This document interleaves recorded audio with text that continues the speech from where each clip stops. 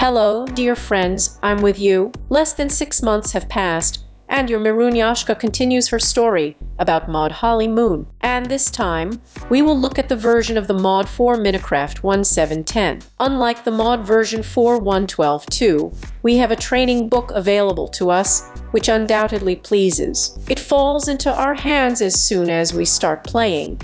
But if you've lost it somewhere, it's okay. It's very easy to craft.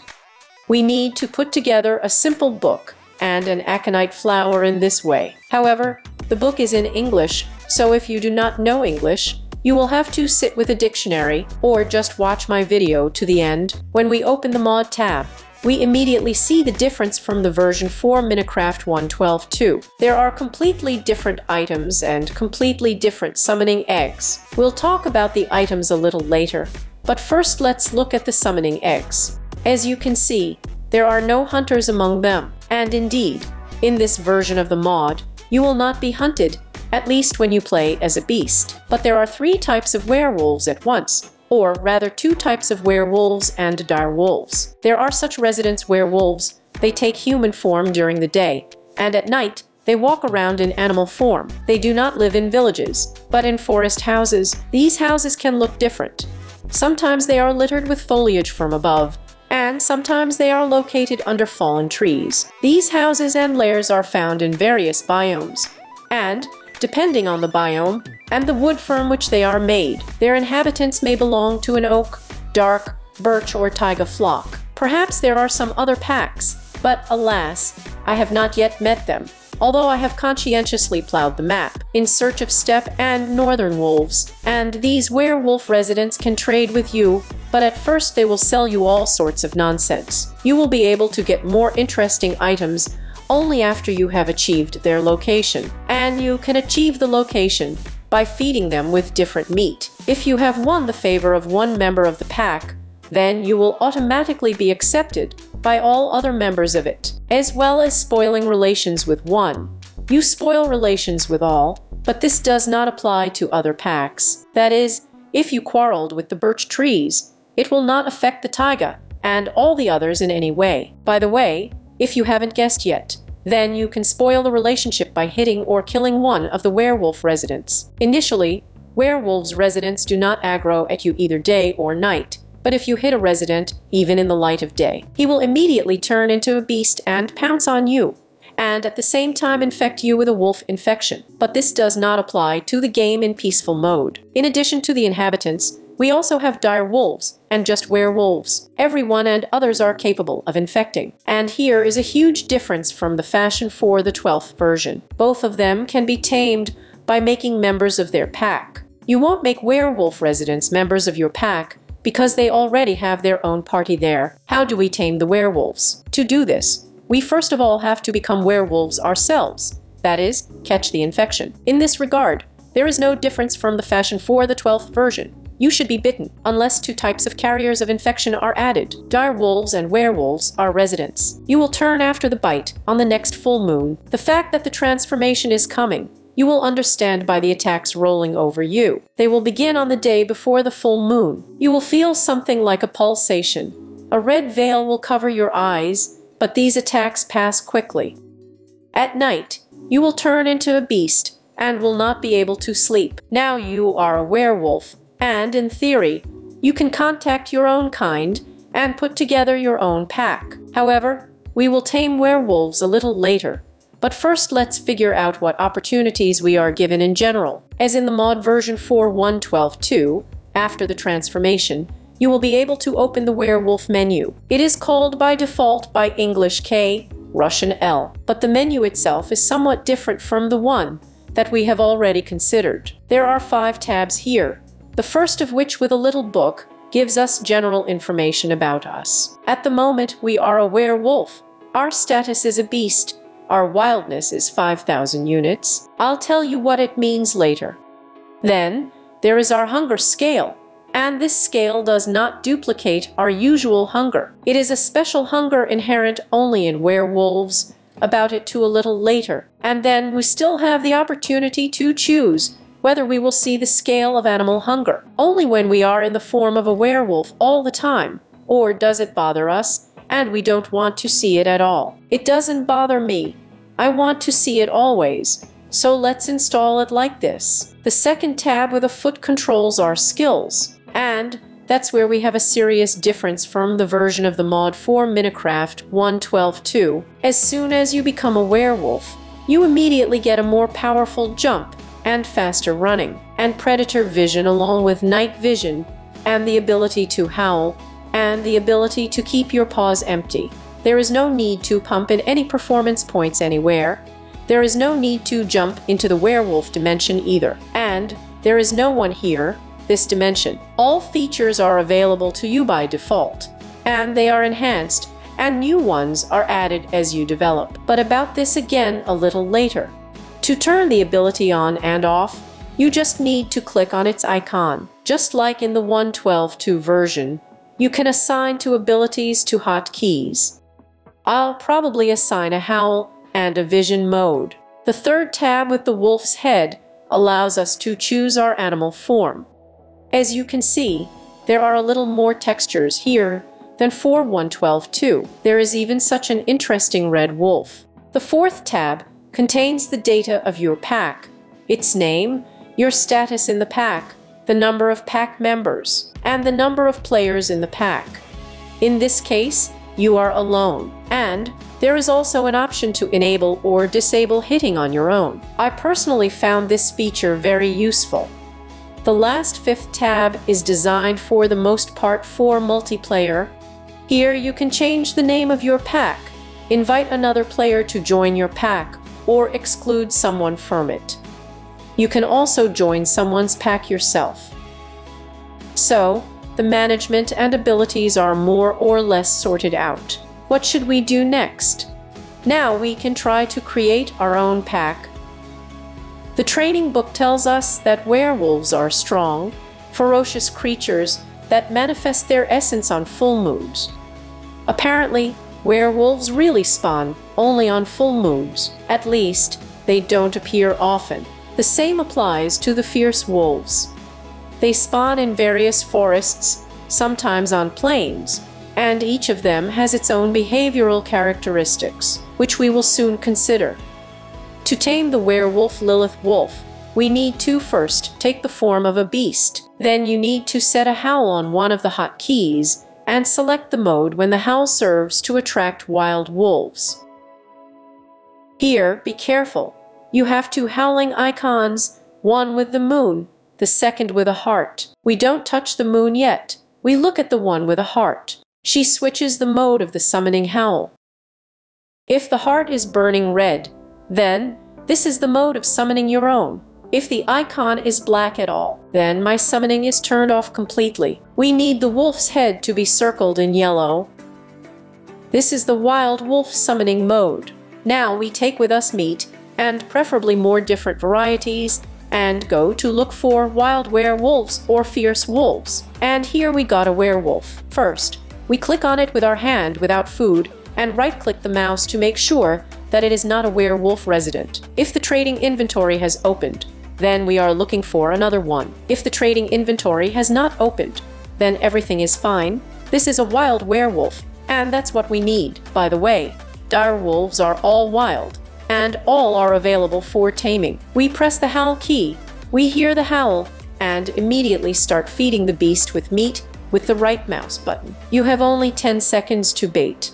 If you did not have time during this period, you can try again, but the previous portion of meat consider it wasted. The amount of meat fed can be different. In addition, it may turn out that this individual is tamed, not by any meat, but by some specific one. If you tried one type of meat and it didn't help, try another. If the beast still does not tame, then it may well turn out that its level significantly exceeds yours. If you are weaker than the tamed beast by at least three levels, then taming will not work. In addition, if the level of a wolf or werewolf tamed by you is higher than yours, there is a risk that he will break out of submission and go wild again. When the beast is tamed, hearts will follow it, and the dire wolf's eyes will turn from red to yellow, and you will be able to open the interface of your new friend again with the right mouse button. As you can see, the werewolf has two tabs. the first of which gives us general information about our new comrade. It says here that he is a werewolf.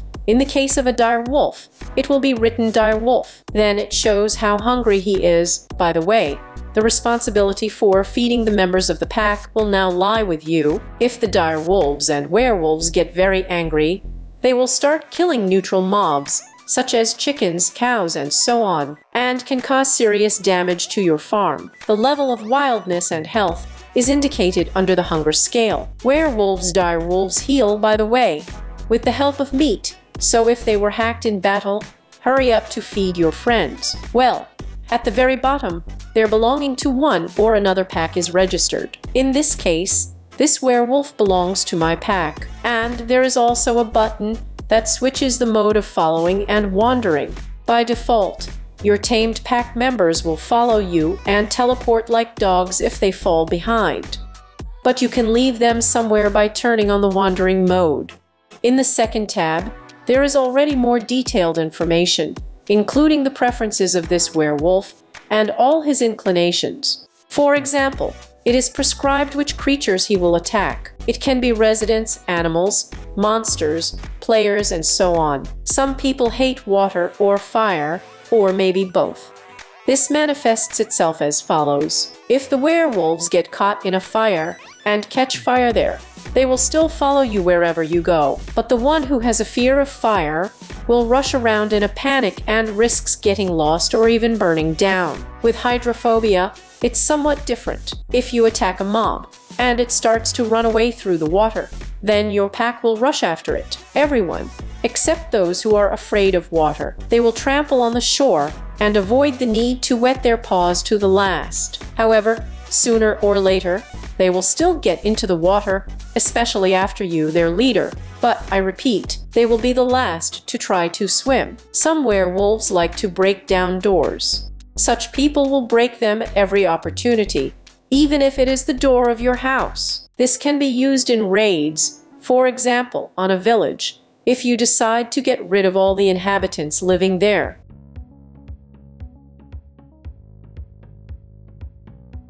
Someone likes a certain kind of miasco or cake. Lovers of sweets will eat up the laid out cakes and thereby be saturated. Keeping a flock of cake lovers can be convenient in the sense that they will feed themselves, and you do not need to monitor their hunger scale. Some are able to jump on the target, someone is inclined to obey, and some, on the contrary, are alpha by nature. Someone likes walls, and someone likes music. For example, these two guys who are staring at the record player are music lovers and are currently listening to music. In general, as you understand, all these NPC werewolves, dire wolves, are very peculiar characters. I forgot to mention that in this tab of werewolves, there is still such a black heart at the bottom here. Why it is needed is not written anywhere, but I suspect that it is directly related to the predilections of werewolves and wolves. It seems to me that with the time spent in your pack, this heart should somehow fill up,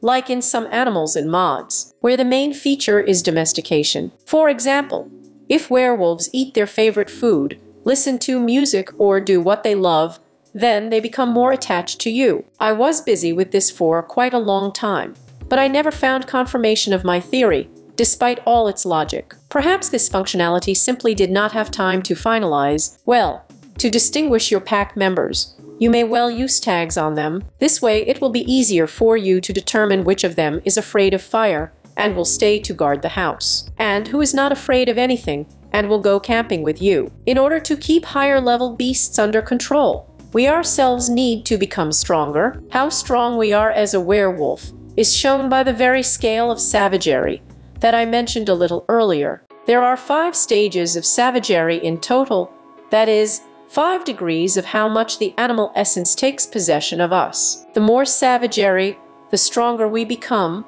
but this does not pass without a trace, because each degree of savagery has its pros and cons. Savagery has its main effects. The higher it is, the stronger these effects are. The main ones include natural armor, wolf paws, and hunger. Natural armor means that you take less damage. However, if you wear armor, it will make it difficult for you to jump, and will not protect you as effectively as a non-werewolf player.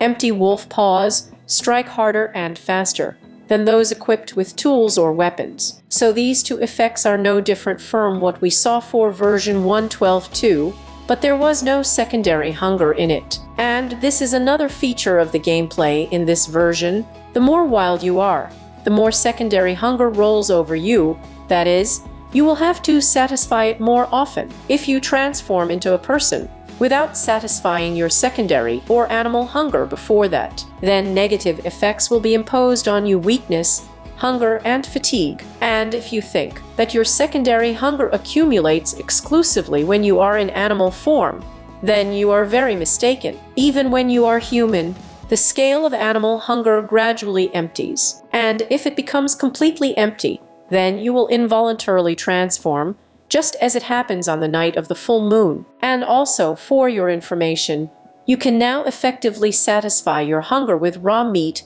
or rotten meat.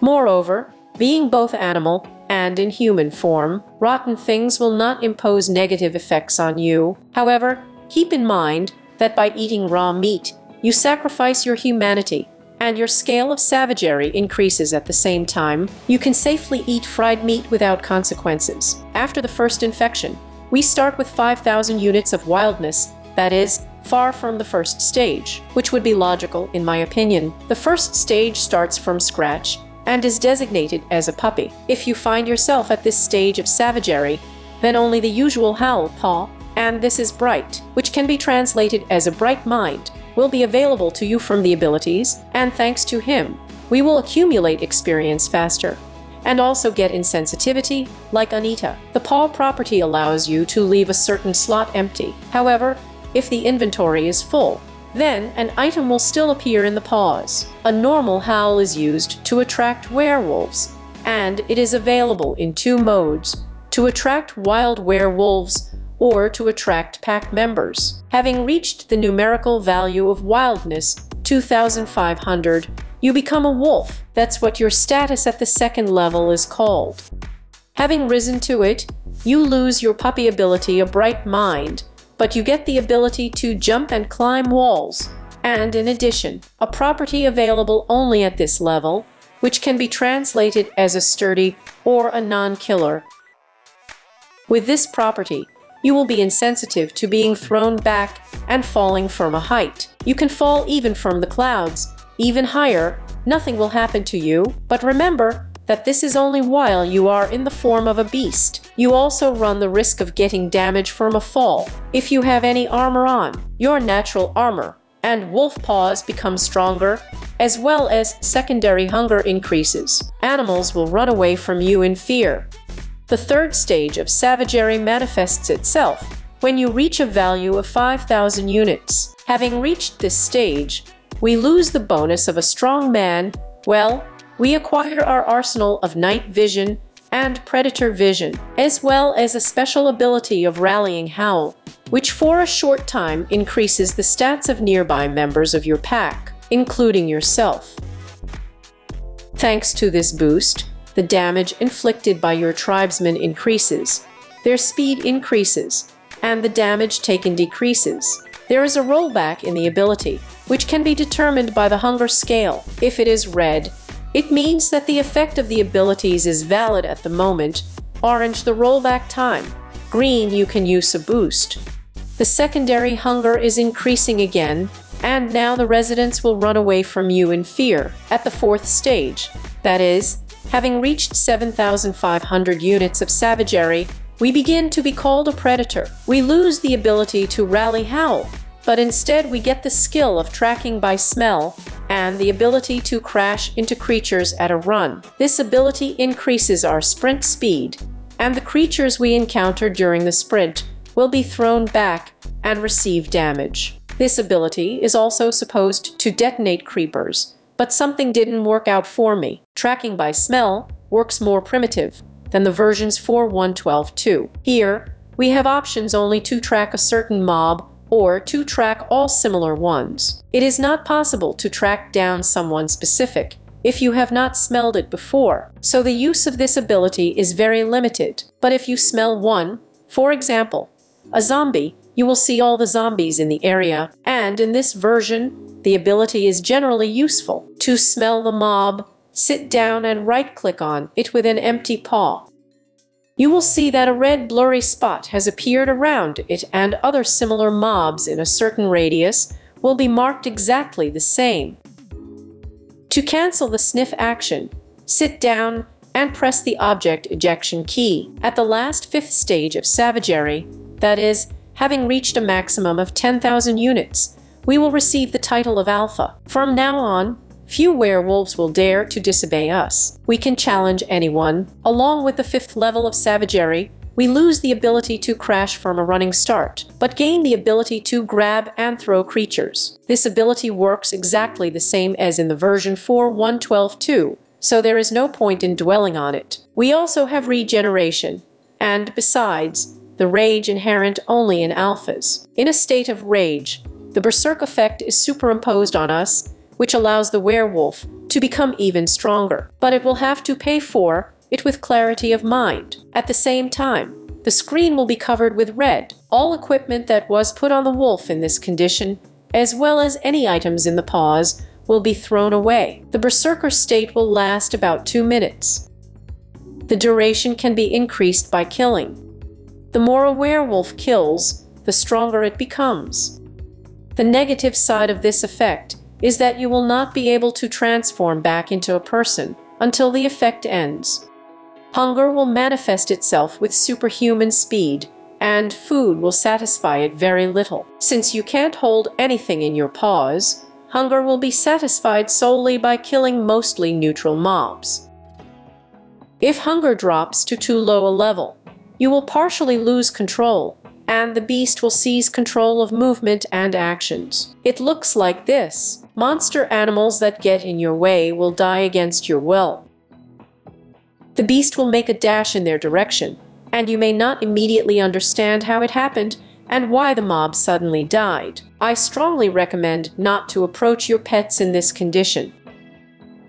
To speed up the return to normal, hold down the item ejection key. The screen will be covered with green color, and when the Berserk effect stops, the color of the screen will return to normal, and you will be able to pick up objects again. Well, now let's look at the items that are added to the Mod Moon for the Minecraft version 1.7.10. First of all, this is of course the monkshood flower, which you will find everywhere in the world. If for some reason it didn't seem enough to you, but you need it in marketable quantities, then just use bone meal on the flower, and it will multiply. This flower is needed in crafts. First of all, it is used to create werewolf convicts. There are three types of prisoners available to us in total. Aconite potion cures werewolves. Craft it like this. We need a bubble, a pickled spider eye, a drop of gold, and three monkshood flowers. In general, all these potions are crafted in the usual way, without using a cooking rack, which in my opinion is an omission. If you drink an aconite potion, you will cease to be a werewolf. If you drink without being a werewolf, you will get immunity against the werewolf infection. If you drink again, the immunity is removed. The potion is poisonous, so drinking it will get poisoning. The calming potion removes 125 units from the scale of savagery. So, if you don't want to be a werewolf of the fifth level, but, for example, you want to get buns of the second, then this potion will help you. If a person is infected, but has not yet turned into a werewolf, then this potion will heal the infection. It's being crafted like this. We need a bubble, a monkshood flower, and sugar, a potion of savagery, craft bubble, spider, iron monkshood. This potion increases wildness, that is, by drinking such potions, you will pump your alpha coolness faster. If it is used on an ordinary wolf, it will turn into a dire wolf. In addition to convicts, there are also soothing tonics and wildness. These things are not craftable. At least I did not find their crafting, but they can sometimes be bought from werewolves provided that you have a good relationship with them. Such tonics raise or lower your wildness scale by a whole level at once, that is, by 2,500 units. However, they are usually quite expensive. In addition to potions and tonics, the mod adds something like amulets and amulets to us. But these things do not need to be carried with you or on yourself. They are installed in certain places and have certain effects, which I will tell you about in more detail now. So, werewolf amulets, as it is written in the book, impose positive effects on werewolves, but only on those who are able to create these amulets.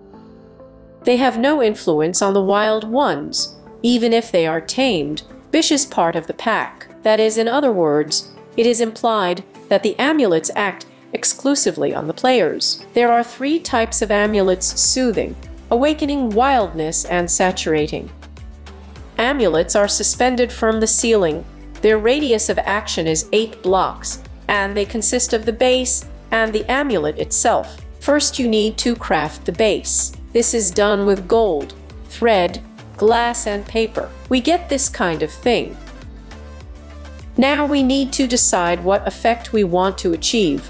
If we want to gradually increase our wildness, then we combine the amulet with a potion of wildness. If we need to get rid of an excessively feral state, on the contrary, then we need to combine it with a soothing potion. And it should be exactly a potion, and in no case a tonic. If you try to combine the base with a tonic, then you simply will not succeed. When you hang this thing up, it will gradually increase or decrease your wildness, depending on what you have charged it with there. Well, as I mentioned, you can also make a saturation amulet. The book says that it will gradually reduce your secondary hunger, as well as saturate the usual one. That is, being within the radius of such an amulet, you in theory should gradually heal. I checked this case and the scale of animal hunger is really being restored. But I didn't find any effect on the usual saturation, so the supposed healing didn't work out.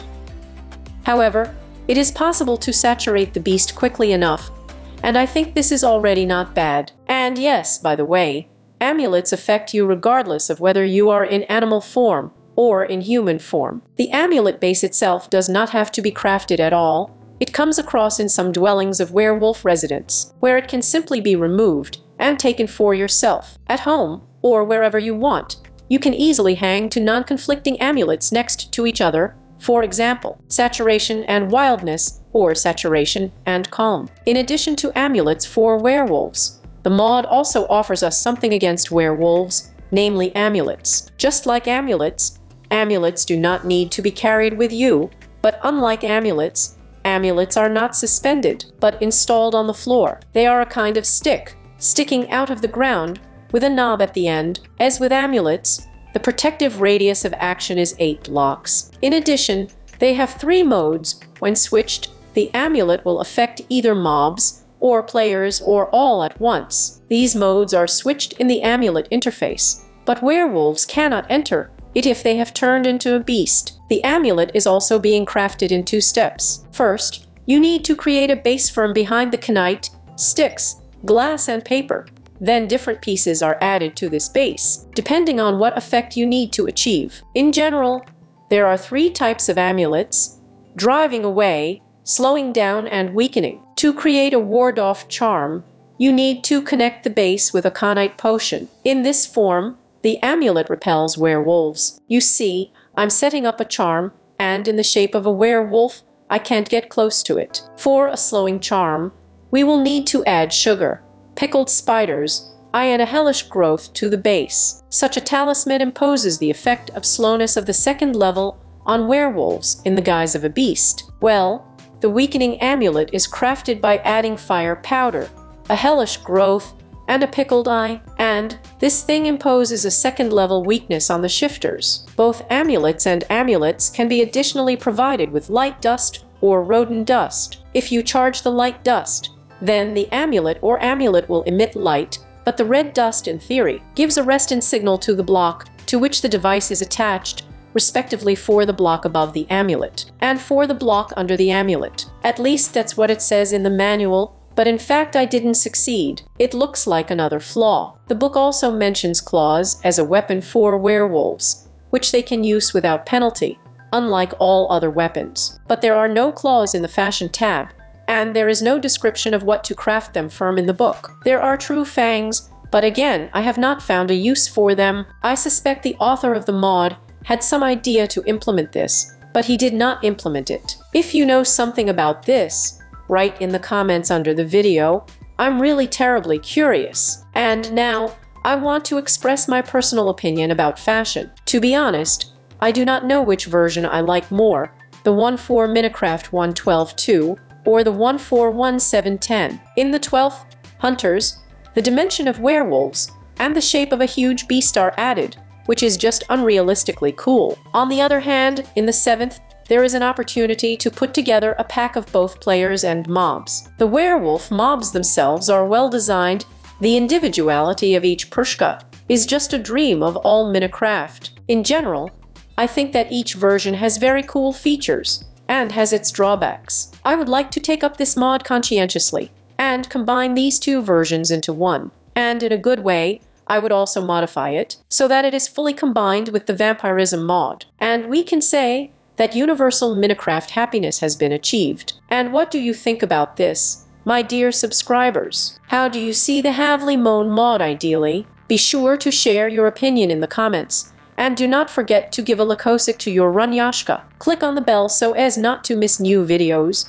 And if you haven't subscribed to my channel yet, then be sure to subscribe. See you soon, dear friends. Bye-bye.